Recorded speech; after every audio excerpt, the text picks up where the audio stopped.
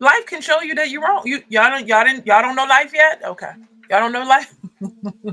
life is pretty good at showing you where you've been wrong.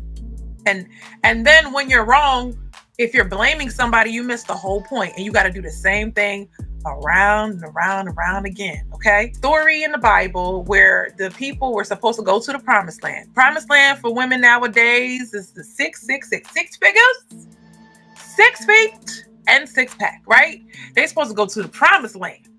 They just kept, it was supposed to be 13 days, I believe, or 11 days, one of those days. I was like, that's not bad. That's not bad.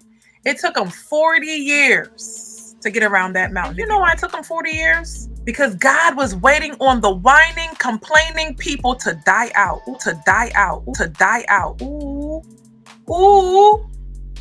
He was waiting for the people that was complaining to die out.